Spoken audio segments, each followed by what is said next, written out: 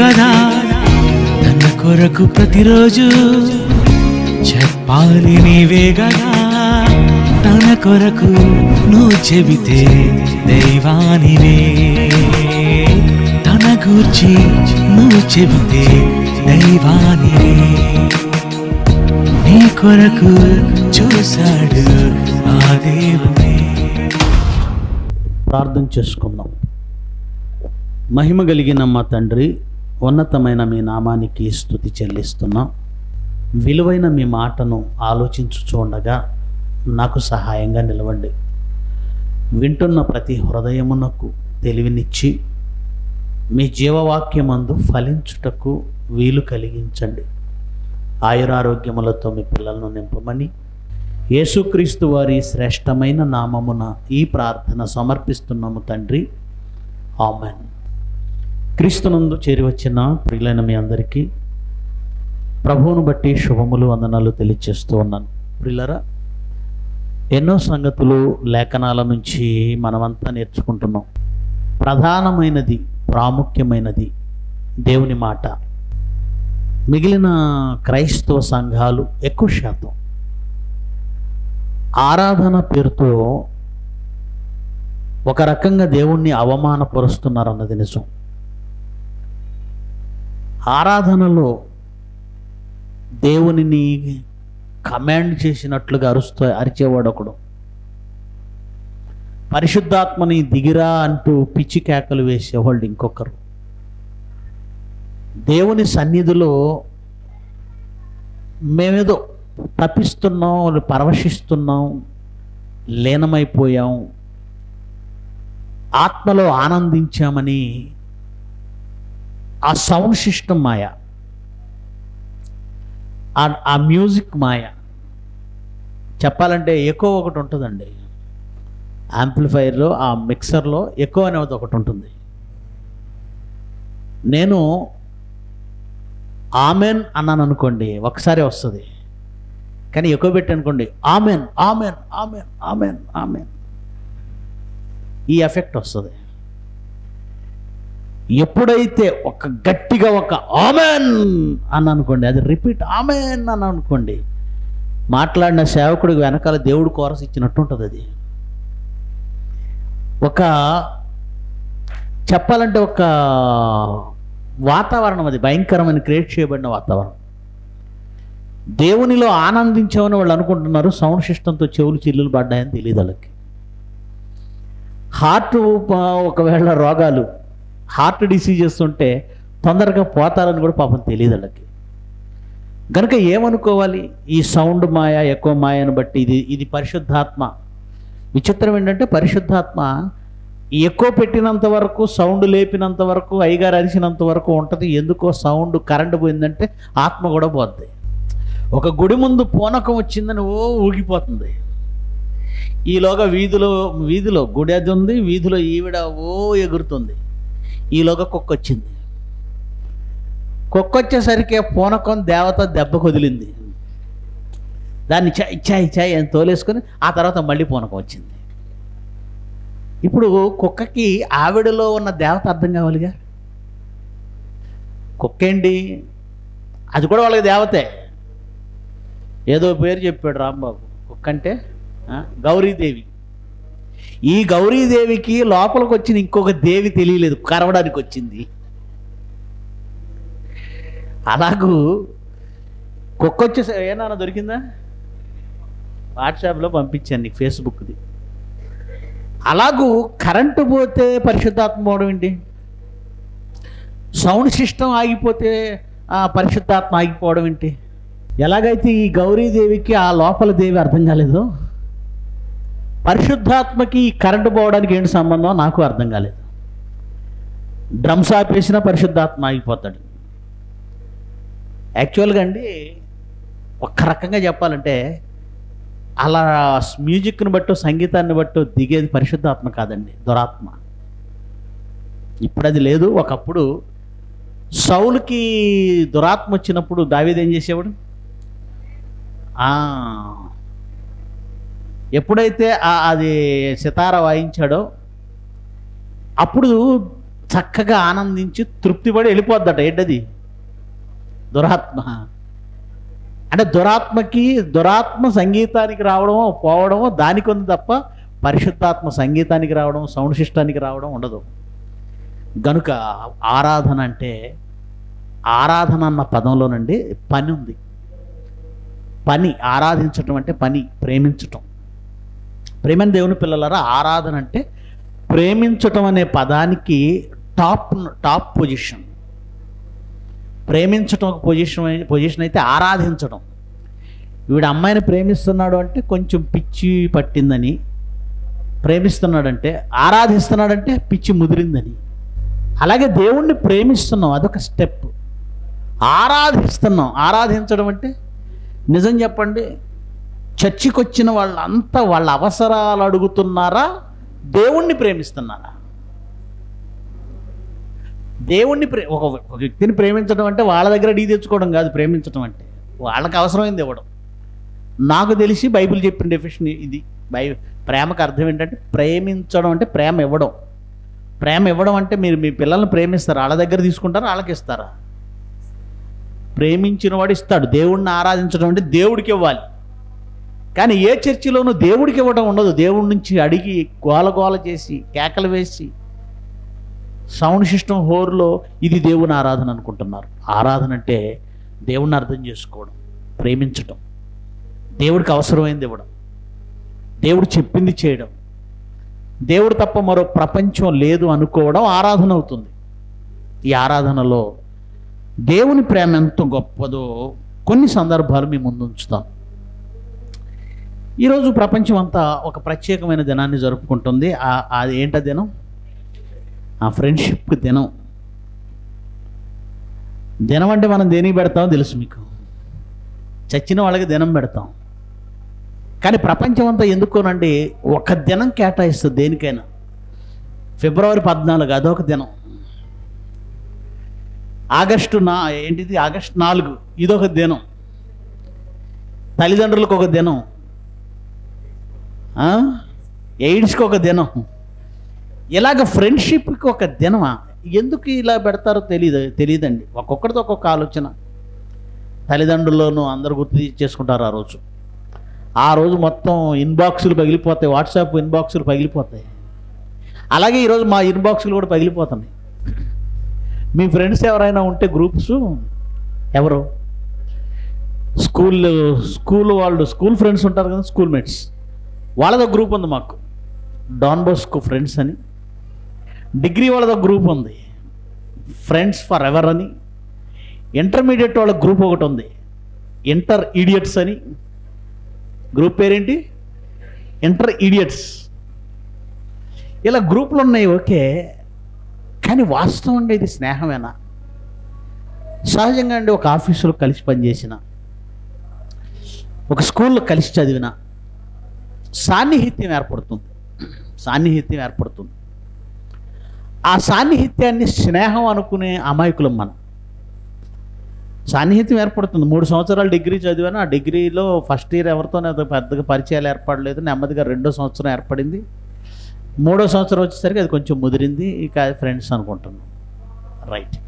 Friends అంటే పరిచయాలు ఉండి దగ్గరగా ఉండటం వల్ల మాట్లాడుకోవడం వలన కలిసిన సాన్నిహిత్యమే స్నేహమా? సన్నిహితంగా మెలగడమే స్నేహమా? స్నేహం అంటే ఎలా ఉంటుందో సామెతల గ్రంథం పదిహేడవ అధ్యాయం పదిహేడవ వచ్చిన నిజమైన స్నేహితుడు విడువక ప్రేమించును. ఎక్కడ? దు ఎక్కడ అన్నాను నేను. ఆ, దుర్దశలో. దుర్దశలో అట్టివాడు.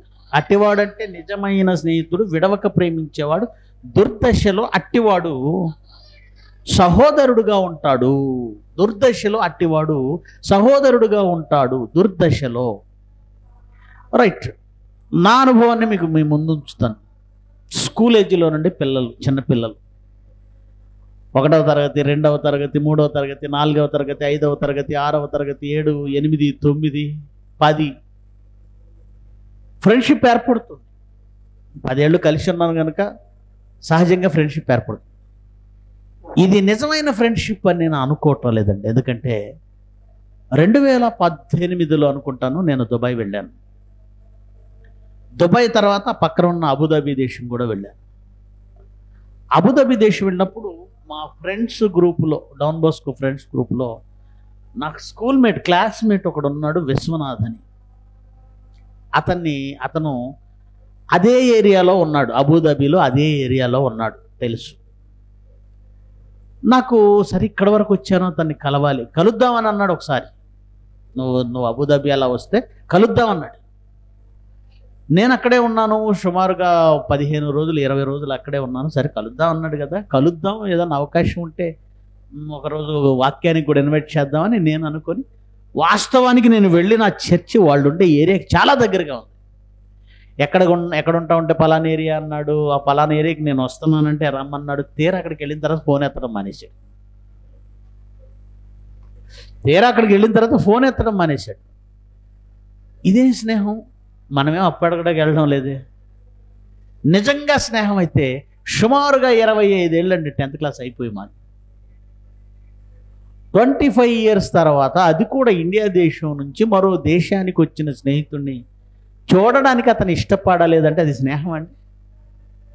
అది స్నేహం అండి? రైట్. ఇప్పుడు మీరు కూడా ఆలోచించండి. మీ బాల్య స్నేహితులు. అప్పుడప్పుడు కలవడం టీ తాగడం పక్కన పెట్టండి. మీరు బాగా ప్రాణంగా ప్రేమించిన స్నేహితుల్ని ఒక యాభై వేలు అప్పు కావాలని ఇప్పుడు వెళ్ళండి. అసలు మిమ్మల్ని కలవడు ఇష్టం చూపించడం. సరే ఎప్పుడో వాళ్ళని వదిలేయండి. ఇప్పుడున్న వాళ్ళనే ఆలోచించండి. తెలీదండి. మనకు తెలియదు మనం అనుకుంటున్నాం స్నేహం అనుకుంటున్నాం.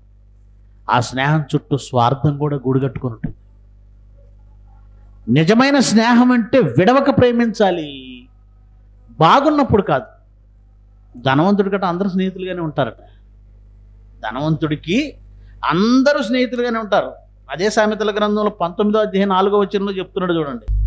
సామెతల గ్రంథము పంతొమ్మిదో అధ్యాయము నాలుగో వచనం. ధనము గలవానికి స్నేహితులు అను అధికముగా ఉంటారు. ఎవరికి అధికమవుతారట స్నేహితులు? అంతమంది స్నేహితులు తన చుట్టూ పలకరించడం ఉదయాన్నే గుడ్ మార్నింగ్ చెప్పడం పలానా చోటుకి వెళదాం అనడం ఇవన్నీ చూసి మనం అనుకుంటున్నాం. నా నా ఫాలోయింగ్ ఎక్కువ నాకు ఫ్యాన్స్ ఎక్కువ చాలామంది. నాకు పలుకుబడి ఎక్కువ అది నీది కాదు. నీ వెనకున్న డబ్బుది. అది నువ్వు కాదు వాడికున్న అవసరం.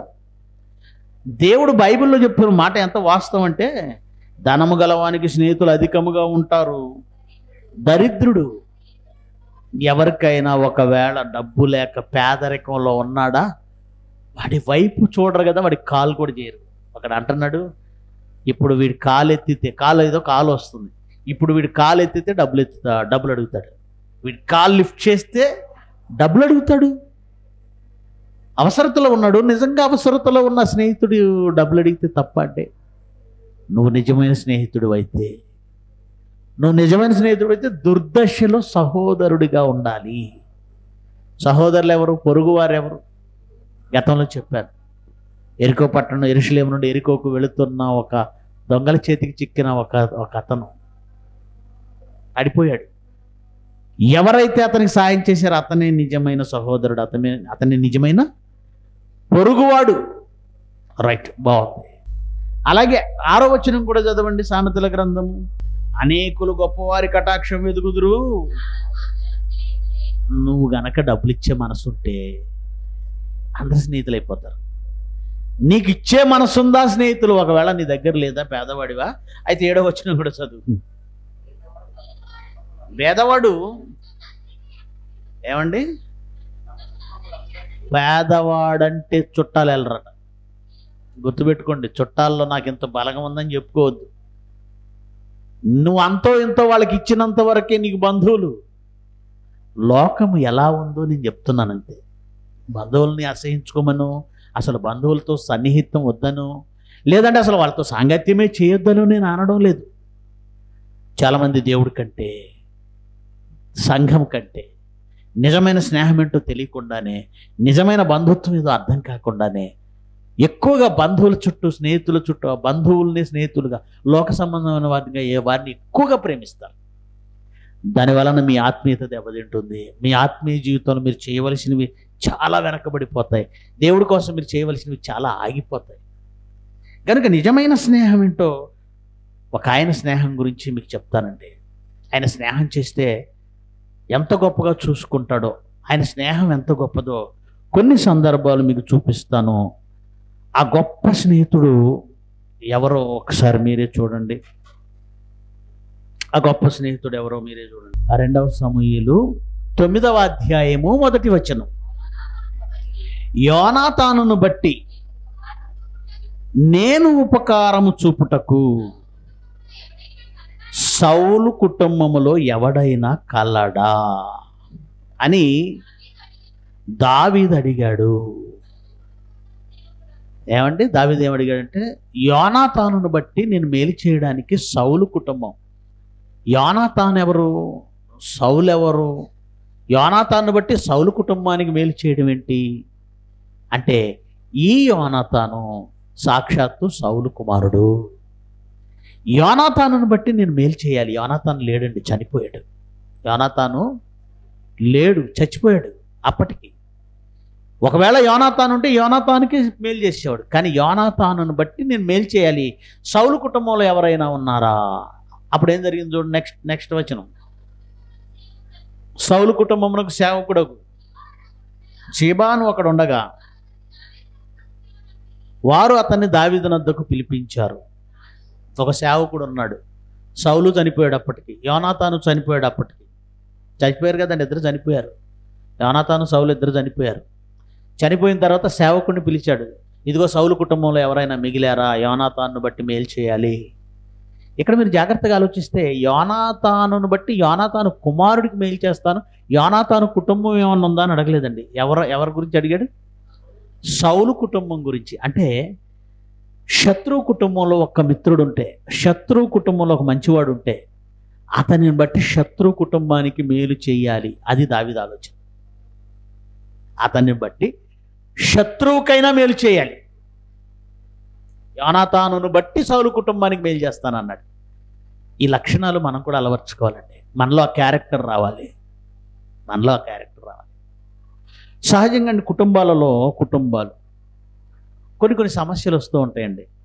అత్త కోడల మధ్య కావచ్చు భార్యాభర్తల మధ్య కావచ్చు తోడి కోడళ్ళ మధ్య కావచ్చు. ఆ సమస్యలకు ప్రధానమైన కారణం అండి వాక్యం లేకపోవడం. ప్రేమ అనేది మనలో లేకపోవడం. వాక్యం మనకు అసలు అర్థం కాకపోవడం. ఉదాహరణకు కోడలు మంచిది కాదు అనుకుందాం కాసేపు. కొడుకు నీ దృష్టి కొడుకు మంచోడేగా? లేదు కొడుకు మంచోడు కాదు. అనుకుందాం. నీ దృష్టి కోడలో మనవడో ఎవరో మంచోళ్ళుగా? కుటుంబంలో ఎవరో ఒకరు మంచి ఉంటారు కదా? ఒక్కరిని బట్టి వాళ్ళకు మేలు చేయొచ్చు. కొడుకును బట్టి కోడలను బాగా చూసుకోవచ్చు. భర్తను బట్టి అత్తను బాగా చూసుకోవచ్చు. భర్త మంచోడే మరి నీ అత్తను బాగా చూసుకోవచ్చుగా? మనకెందుకో వాక్యం రాదండి. వాక్యం ఉండదు. మనకు ఎవరు ఫేవర్గా ఉంటారో వాళ్ళు మనకు ఫ్రెండ్స్ ఎవరు ఫేవర్గా ఉండరో వాళ్ళు మనకు శత్రువులు. ఇదేనా? లోకంలో ఉన్న వాళ్ళందరూ అలాగే ఉంటారు. మనం దేవుడిలోకి వచ్చిన తర్వాత ఎక్కువ చేయించున్నది ఏంటి ఎక్కువ చేయించున్నది ఏంటి ప్రేమలో క్షమ ఉంటుంది. ప్రేమలో సహనం ఉంటుంది. ప్రేమలో తాళ్ళుకోవడం అన్నిటిని ఓర్చుకోవడం ఉంటుంది. ప్రేమలో కలుపుకుపోవడం ఉంటుంది. మేలు చేయటం ఉంటుంది స్నేహం ఉంటుంది. సౌలు దావీదును చంపాలనుకున్నాడు. గత పాఠాల్లో చెప్పాను మీకు. చాలాసార్లు ప్రయత్నించాడు. చంపాలనుకున్న దావీదు ఎవరైనా ఎవరైతే చంపాలనుకున్నాడో దావీదు వాళ్ళకే మేలు చేయడానికి సిద్ధపడ్డాడు. ఏం జరిగిందో చూడండి ఆ తర్వాత ఏమన్నాడు అతను? సేబాను అతను అనగా సేవకుడు సౌలు కుటుంబానికి సేవకుడైన సేబా ఏమంటున్నాడు చూడండి. రాజు సేబావు నీవే కదా అని అడుగగా అతడు నీ దాసుడనైన నేనే సేబానని అనెను. రాజు యహోవా నాకు దయ చూపినట్లుగా నేను ఉపకారం చేయటకు అంటే వండర్ఫుల్ అండి ఒక్కొక్క మాట ఆలోచిస్తే ఆణిముత్యం. యహోవా నాకు దయచేసినట్టు దయ చూపాడు. దేవుడు నీకు దయ చూపితే నువ్వు వెంటనే ఏం చేయాలి? అది ఫాలో అయిపోవాలి. దేవుడు నీ మీద ప్రేమ చూపించినప్పుడు వెంటనే నువ్వు మరొకరి మీద ప్రేమ చూపించాలి. దేవుడు నీ మీద దయ చూపించాడు నువ్వు వెంటనే మరొకరి మీద దయ చూపించాలి. దేవుడు నాకు దయ చూపించినట్లుగా నేను ఉపకారం చేయాలి. చాలామంది దేవుడు మమ్మల్ని దీవించాడు అంటాడు అంతే. మరి తర్వాత నువ్వు ఎవరికైనా సహాయం చేసావా? దేవుడు మమ్మల్ని దీవించాడు కరుణించాడు. వెంటనే నువ్వు దాన్ని ఫాలో అయిపోయి ఇంకొకళ్ళకి నువ్వు ఆ సహాయం నువ్వు కూడా చేసావా? దేవుడు నీకు ఇచ్చాడు నువ్వు ఎవరికైనా సహాయం చేసావా? నాకు దేవుడు దయ చూపించినట్లుగా నేను మరొకరికి ఉపకారం చూపుటకు సౌలు కుటుంబంలో యోనాతాన్ ఒక్కడ టార్గెట్ కాదండి. యోనాతాన్ ఒక్కడ టార్గెట్ కాదు. సౌలు కుటుంబంలో ఎవడైనా శేషించి ఉన్నాడా? అని అతన్ని అడుగగా సేబా యోనాతానుకు కుంటికాళ్ళు గల కుమారుడు ఒకడు ఉన్నాడు రాజుతో మనవి చేశాను. అతను ఎక్కడున్నాడని రాజు అడగగా షేబా చితగించుము. అతడు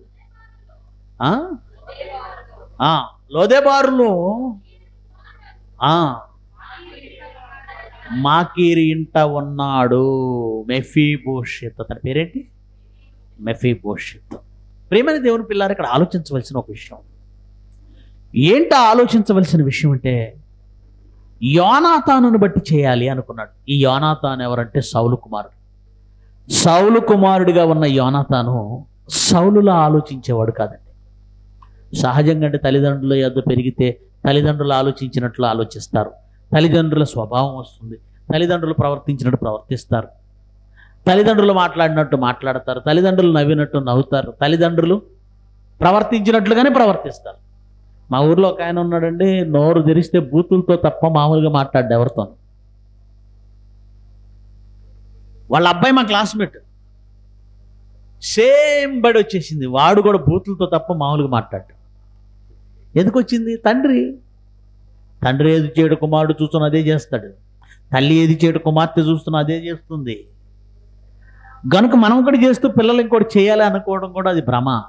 కానీ కొంతమంది ప్రత్యేకం ఉంటుంది కొంతమంది ప్రత్యేకం తండ్రిలో ఈర్ష వచ్చింది సౌలులో ఈర్ష వచ్చింది. చాలా ప్రమాదం అండి అది. ఎప్పుడైతే తన ఎదుట తనేమో రాజు తన ఎదుట ఒక్కడిని చంపినందుకు గొలియాతును చంపినందుకు అందులోనూ స్త్రీలు సౌలుకు వేల కొలది దావీదుకు పదివేల కొలది అని స్థుతులు చేస్తున్నప్పుడు ప్రయస్ పొగుడుతున్నప్పుడు అతనిలో ఒక ఇగు బయలుదేరింది ఒక ఈర్ష్య బయలుదేరింది ఒక అసూయ బయలుదేరింది. నేను రాజుని నాకెందుకు నాకేంటి వేల కొలది అంటున్నారు? నేను రాజుని అతని గొప్ప ఏంటి? నేను రాజునై ఉండి నా ముందు అతన్ని పొగుడుతున్నారేంటి? సహించలేకపోయాడు ప్రిల్లరా ఎప్పుడు ఒకరు గొప్ప చేస్తే గొప్పవం ఒకరు తక్కువ చేస్తే తక్కువవం గుర్తుపెట్టుకోండి. మనం ఎప్పుడు ఒకరు గొప్ప చేస్తే గొప్పవం ఒకరు తక్కువ చేస్తే తక్కువ దావీదు పొగడక అంటే వాళ్ళు పొగడక ముందే దావీదు గొప్పవాడు. వాళ్ళు పొగిడినందుకు గొప్పవాడా? కాదు. కాకపోతే తన గొప్పతనం పది మందికి తెలుస్తుందేమో. కేవలం దాన్ని మనసులో పెట్టుకొని దాన్ని మనసులో పెట్టుకొని ఇగో ప్రారంభమైంది. నాకంటే అతనికి ఎక్కువ స్థుతులు వస్తున్నాయి. అప్పుడు ఇంకోటి చేయొచ్చు. అతనికంటే గొప్పగా నేను ఉండాలంటే అతనికంటే గొప్పవాడిని కావాలి. నేను అలా ఉండడానికి ట్రై చేయాలి. ఇది మంచి మనస్సు. కానీ అతనే లేకుండా చేయాలి.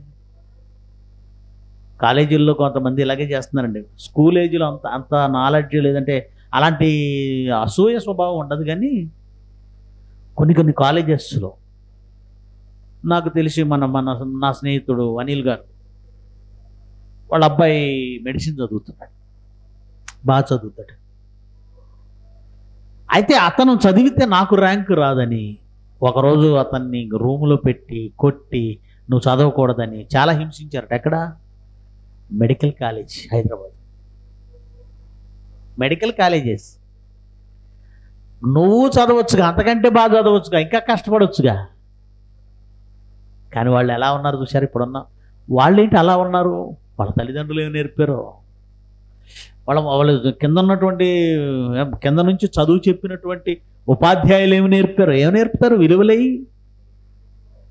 నువ్వు కష్టపడాలి అని కోరుకోవాలి కానీ నీకంటే ముందున్నవాడిని పడగొట్టాలి చంపేయాలి లేకుండా చేయాలి. సౌలు అదే చేస్తున్నాడు. ఆ రోజు నుంచి విషపు చూపు నిలిపాడు. ఈ ఈ కోణంలోనండి దావీదును చంపడానికి ట్రై చేశాడు. ఈ కుట్ర ఎవరికి తెలిసిందో తెలుసా? చూద్దాం మొదటి సమయాల గ్రంథం. మొదటి సమయాల గ్రంథం.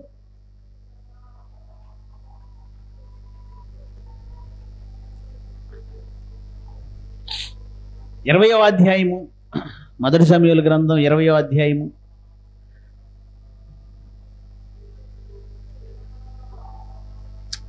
మొదటి వచనం నుంచి.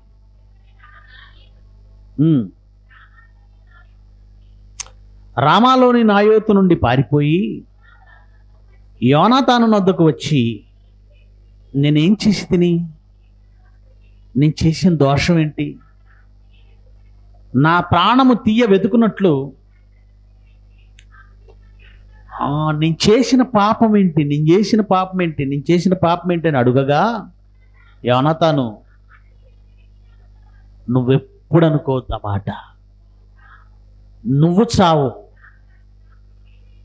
నాకు తెలియజేయకుండా నా తండ్రి చిన్న కార్యమే కానీ పెద్ద కార్యమే కానీ చెయ్యాడు. జాగ్రత్తగా వినండి. అంటే సౌలుకి యోనాతాను మీద ఎంత నమ్మకం ఉంది అంటే ఏ పని చేయాలనుకున్నా యోనాతాన్తో చెప్తాడు.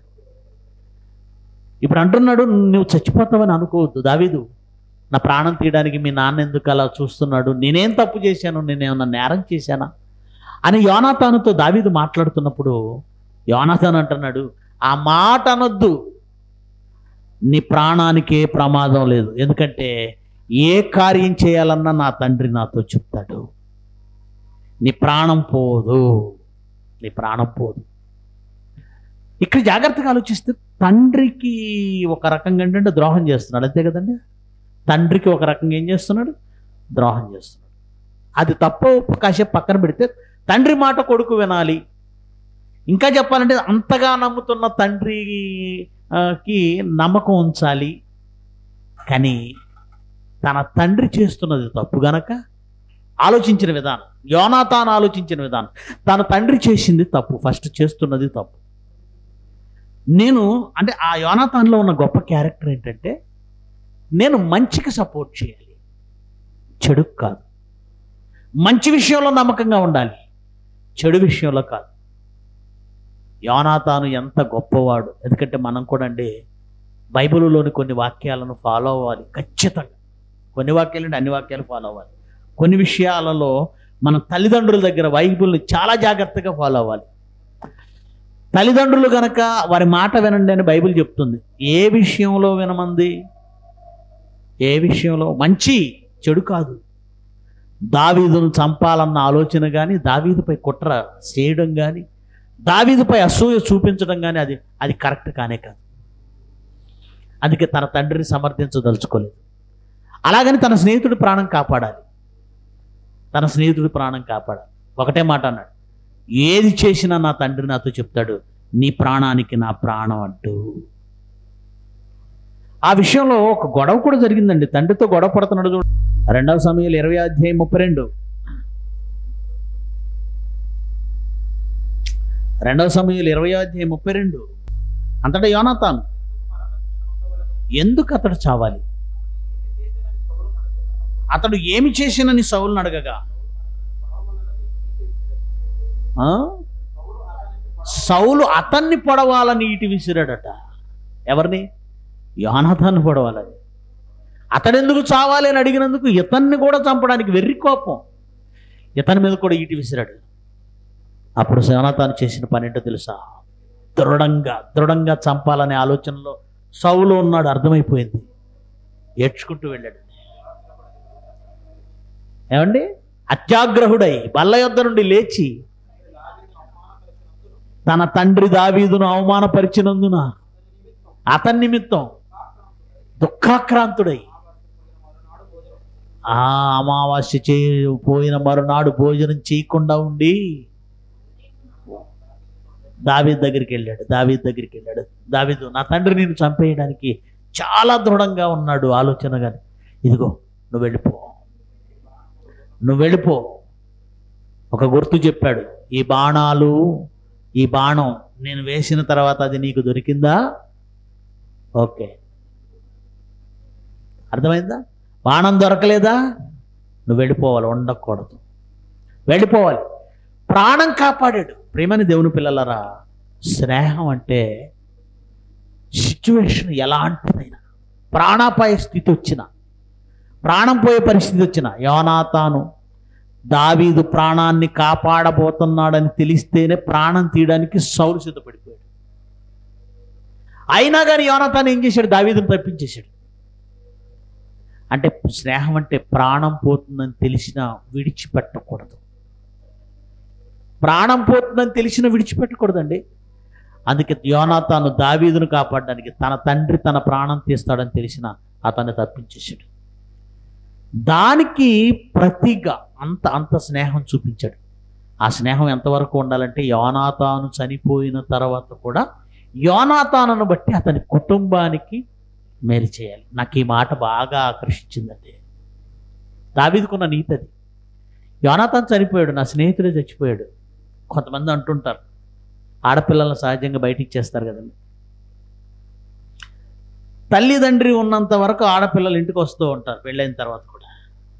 ఎప్పుడైతే తండ్రి తల్లి చచ్చిపోయారో వీళ్ళు ఒక మాట అంటారు ఇక ఈ ఇంటితో ఈ ఊరితో మాకు బంధం రుణం తీరిపోయింది. అన్నలో లేదంటే తోడబుట్టిన వాళ్ళు మంచోళ్ళు అయితే పర్వాలేదు వస్తూ ఉంటారు. ఒకవేళ వాళ్ళు పట్టించుకునే వాళ్ళు అనుకోండి లేదంటే వదినలే ఉన్నారు. వాళ్ళు అసలు పట్టించుకోరు అనుకోండి మా అమ్మ నాన్న ఉన్నంత వరకు మా ఇంటికి ఇంటికి మాకు రుణం ఉంది. వాళ్ళు వెళ్ళిపోయిన తర్వాత మాకు ఈ ఇంటికి రుణం తీరిపోయింది. రుణం తీరిపోయింది. అంటే కడుపును పుట్టిన పిల్లలు కూడా మర్చిపోతారంటే మర్చిపోతారు. కడుపును పుట్టిన పిల్లలు కూడా చచ్చిపోయిన తర్వాత ఏం చేస్తారు? మర్చిపోతారు మా అమ్మ నాన్న వాళ్ళ సంతానం అన్నలు తమ్ముళ్ళు వాళ్ళు ఉన్నారు మర్చిపోకూడదు కదా? కానీ మర్చిపోతారు చాలామంది వద్దు అనుకుంటారు. దాని వెనకాల వాళ్ళ వాళ్ళ స్వార్థం ఉంది. యాకోబండి రాహేలు తర్వాత ఎవరు? లేయా. వీళ్ళిద్దరిని వివాహం చేసుకున్నాడు. అఫ్ కోర్స్ గొర్రెలు మేపుతున్నప్పుడు ఆ యాకోబుని లాభాను చాలాసార్లు మోసం చేశాడు. పది మార్లు మోసం చేశాడు. దాన్ని బట్టి ఒకరోజు మాట్లాడేసుకుని భార్యలతో కూర్చోబెట్టి మాట్లాడుకొని మనం వెళ్ళిపోదాం యాకోబు మనం వెళ్ళిపోదాం. మీ తండ్రి దగ్గరే మనం ఉండలేము. అప్పుడు కూతుళ్ళు ఏమంటున్నారు తెలుసా? మా తండ్రి ఇంట మాకు పాలెక్కడిది? రాహేలు కానీ లేయ కానీ వాళ్ళు ఏమంటున్నారంటే మా తండ్రి ఇంట ఇక మాకు పాలెక్కడిది? ఎన్నాళ్ళు ఉన్నది ఎన్నాళ్ళు పడి తిన్నది ఎన్నాళ్ళు పెంచింది ఎవరో? తండ్రిగా తండ్రి అంటే కదా తిన్నది. పెంచింది బట్టకిచ్చింది మీ అవసరాలు తీర్చింది. ఇప్పుడు ఇప్పుడు భాషలో మాట్లాడాలంటే చదివించింది. ఎప్పుడైతే యాకోబు వెళ్ళిపోదాం అన్నాడో వీళ్ళు అంటున్న మాట ఏంటంటే ఇక మా తండ్రి ఇంట మాకు పాలు ఎక్కడిది అంటే పాలు ఉంటే వస్తావు లేకపోతే రావు. పాలుంటే వస్తావు. పాలంటే ఏంటి? వాటా వాటా. ఆస్తిలో వాటా. పాలుంటే వస్తావు.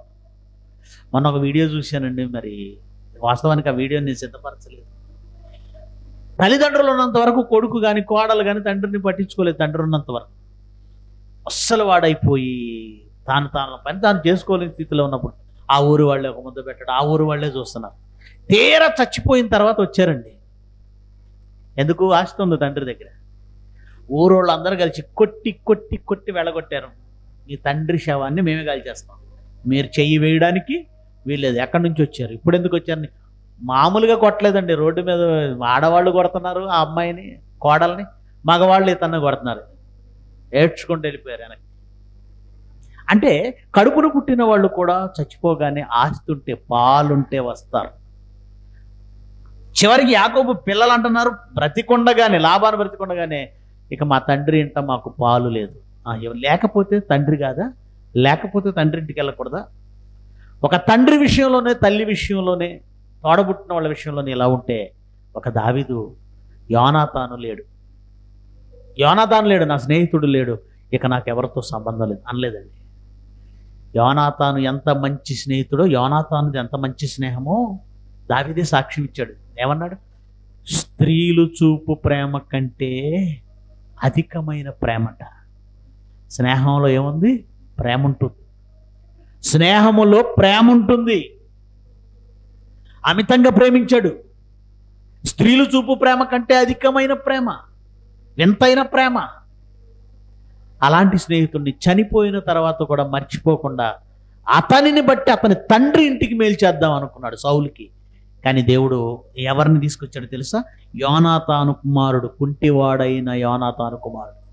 చిన్నప్పుడట అతని తల్లి తా అమ్మ అమ్మమ్మ దాది. అతన్ని ఎత్తుకొని పరిగెడుతుంటే జారి పడింది అట పడ్డాడట. మోకాళ్ళు నేలకు తగిలి అప్పటి నుంచి కుంటివాడయ్యాడు. మెఫీభూషిత్ యోనా తన కొడుకు. కుంటివాడయ్యాడట. అప్పుడు అతన్ని పిలిపించి నా భోజనం బల్ల దగ్గరే నువ్వు భోజనం చేయాలి. అతను ఎవరో ఒక వికలాంగుడు. స్నేహితుడు చచ్చిపోయాడు. స్నేహితుడు కుమారుడు ఇక నాకు అతనికి పెద్ద సంబంధం ఏముంది అని ఆలోచించలేదండి. అంటే ఎందుకు ఈ మాట చెప్పానంటే మా ఫ్రెండ్ అనో లేదంటే స్నేహితుడనో లేదంటే దోస్తనో ఏదో మాట్లాడుతూ లోకంలో ఉన్న వాళ్ళ చుట్టూ తిరుగుతున్నారు కదా. అది నిజమైన స్నేహమో కాదు నీది నిజమైన స్నేహమో కాదో చూసుకో. వాళ్ళది నిజమైన స్నేహమో కాదో చూసుకో. ఎందుకంటే స్నేహము వెనక కూడా ఎన్నో స్వార్థపూర్వ పూరితమైన ఆలోచనలు ఉన్నాయి. కానీ స్నేహములో ప్రేమ ఉంటుంది. చనిపోయిన తర్వాత కూడా మేలు చేయాలన్న ఆలోచన. ఒక పాట రాశానండి జాన్సన్ విక్టర్ గారు చనిపోయినప్పుడు. ఆ పాట ఒకసారి ప్లే చేస్తామన్నా స్క్రీన్ మీద. ఆగేది ఎలా ఈ కన్నీరు? ఒకసారి ప్లే చేయండి. ఆగేదెలా ఈ కన్నీరు? గుండె మరువగలదా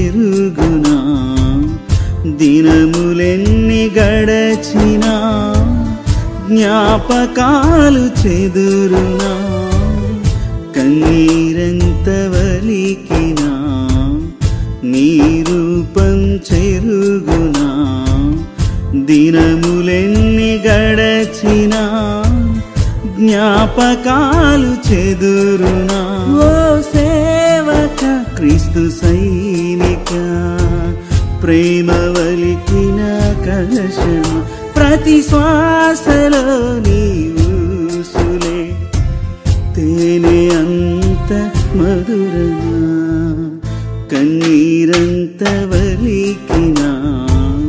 నీ రూపం చెరుగునా? కన్నీరంత వలికినా? డాడీ స్మైల్ పని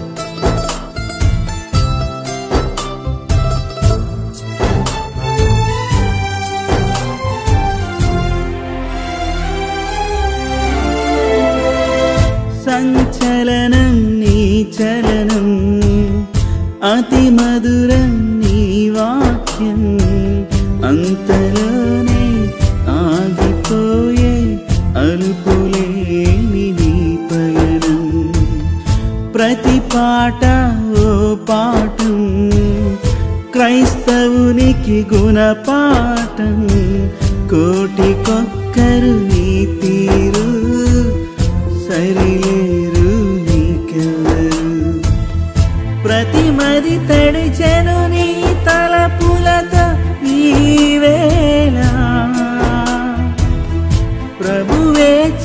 మై పరదైషుకు నువ్వు చేరావా ప్రతిమది తడిచెను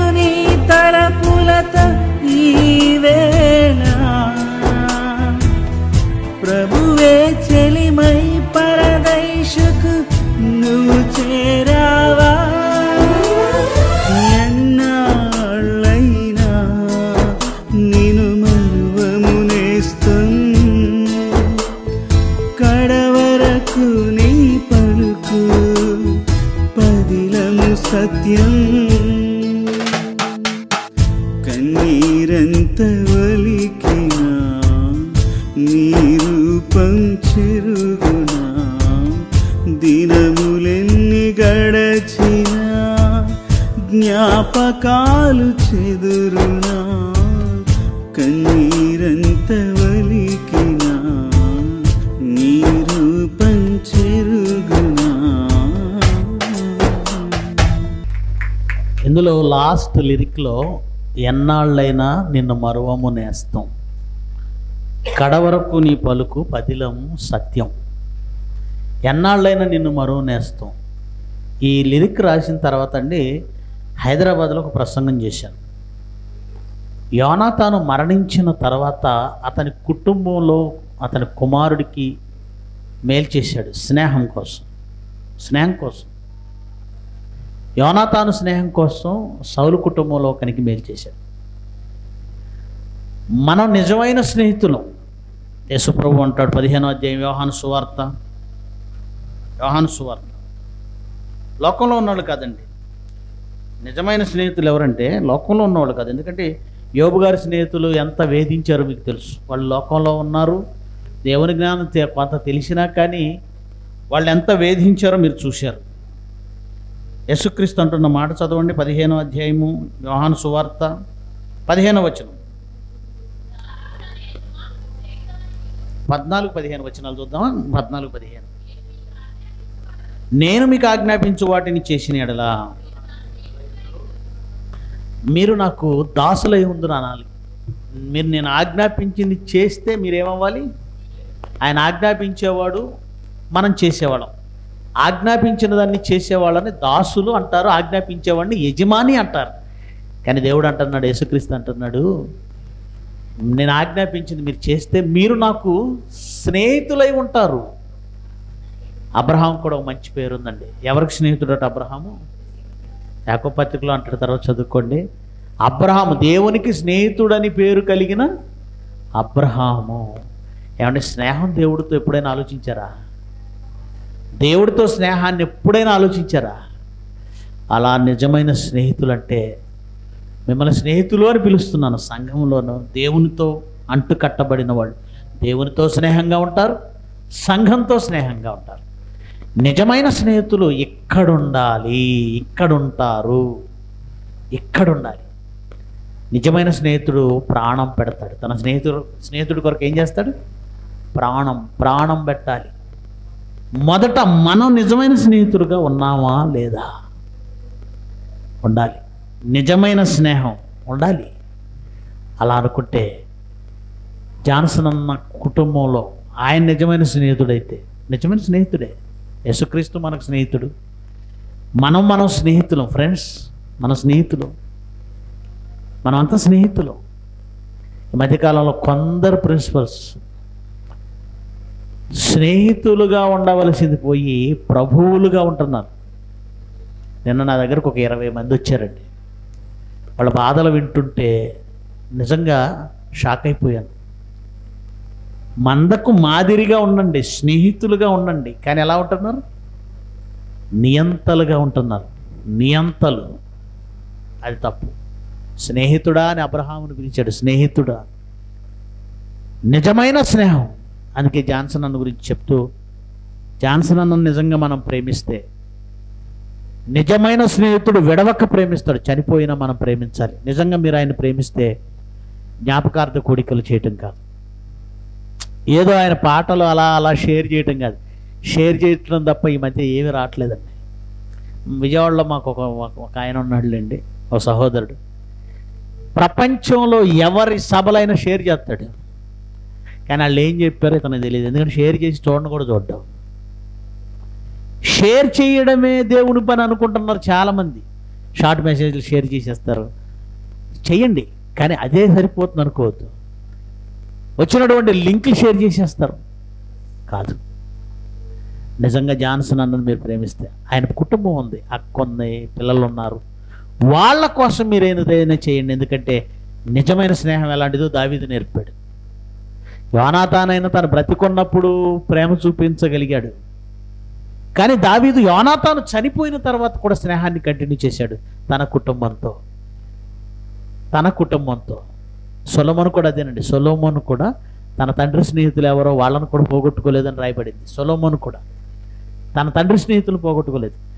నిజం చెప్పనా? బైబిల్ ఏం చెప్పింది తెలుసా? మీ స్నేహితులు కాదు మీ నాన్న స్నేహితులను కూడా మీరు పోగొట్టుకోకూడదు.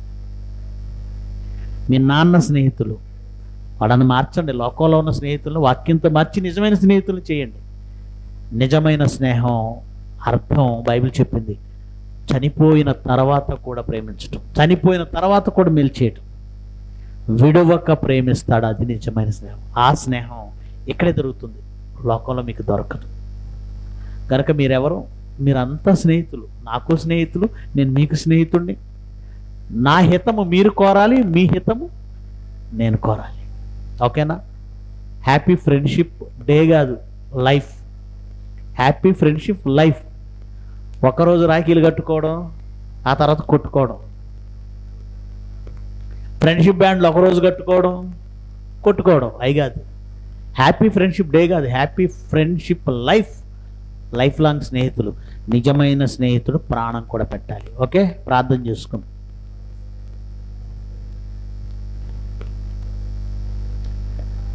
ప్రేమ కలిగిన మా తండ్రి ఉన్నతమైన మీ నామాన్ని స్థుతిస్తూ ఉన్నాం. లేఖనాలు మా మా బ్రతుకులను ఎంత ఉన్నతంగా తీర్చిదిద్దుతాయో మా వ్యక్తిత్వాన్ని ఎంత అద్భుతంగా తీర్చిదిద్దుతాయో కొన్ని మచ్చుకు కొన్ని ఉదాహరణలే ఈ పాఠంలోని సంగతులు. ప్రేమ అనేది స్నేహంలో ఉంటుందని స్నేహం అనేది చనిపోయినా విడవనిది అని ప్రాణం కూడా పెట్టేంత గొప్పది అని లేఖనాల ద్వారా నేర్చుకున్నాం. లోకంలోని స్నేహం ధనముంటే ఉంటే ఉంటుంది దానం చేసేవాడి చుట్టూ ఉంటుంది.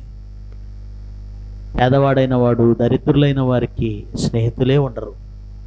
తండ్రి మీరు చాలామంది స్నేహితులను మా కొరకు సిద్ధపరిచారు. సంఘములోని స్నేహితులు నిజమైన స్నేహితులు.